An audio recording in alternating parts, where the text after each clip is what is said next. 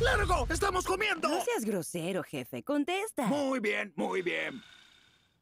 ¡Sí! ¿Qué quiere? ¿Quién es, jefe? No lo sé. No hay nadie aquí. Qué raro. Sí, probablemente sea una broma de esos jóvenes idiotas.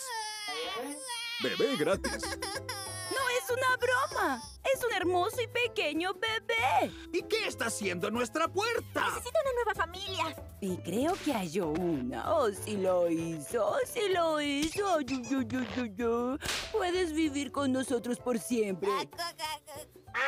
Oh, alguien necesita cambio de pañal.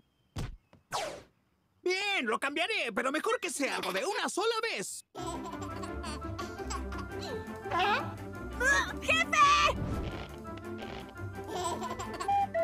¡Oh,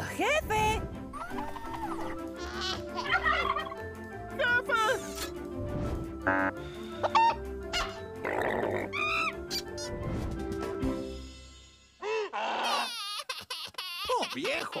Es como si su popó hiciera un ciclo infinito. Si solo hubiera una forma de evitar cambiarlo. evitar cambiarlo? Dime algo, pequeñín. ¿Quieres irte al extremo?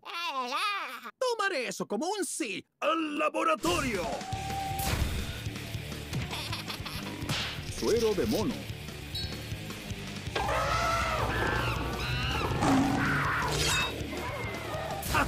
Adivinen quién resolvió el problema del popó. Contemplen. ¿Por qué está verde? Nada de que alarmarse. Solo le inyecté un suero experimental de mono. ¿Tú hiciste qué? Ahora puede convertirse en animal y hacer el número dos afuera. Una vez más fuiste al extremo. Pero supongo que ya no tendremos que cambiar pañales. Y así es como todos ganamos. Salvó nuestro vecino.